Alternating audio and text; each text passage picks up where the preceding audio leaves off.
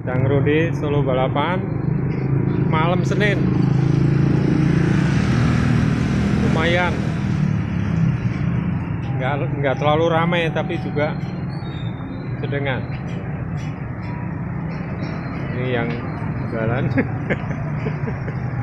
nasi goreng Soko Ngiro.